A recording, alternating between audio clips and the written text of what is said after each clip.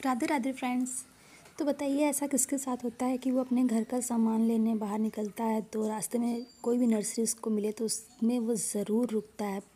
कोई भी plant lover हो, वो चाहे एक पौधे लाए, चाहे दो पौधे ले, लेकिन वो अपना सामान भूल सकता है, लेकिन प्लांट लेना नहीं भूलता है। तो मुझे कमेंट करके ज़रूर बताइएगा, ऐसे कौन कौन लोग हैं जो बिना प्लांट लिए नहीं रह पाते हैं?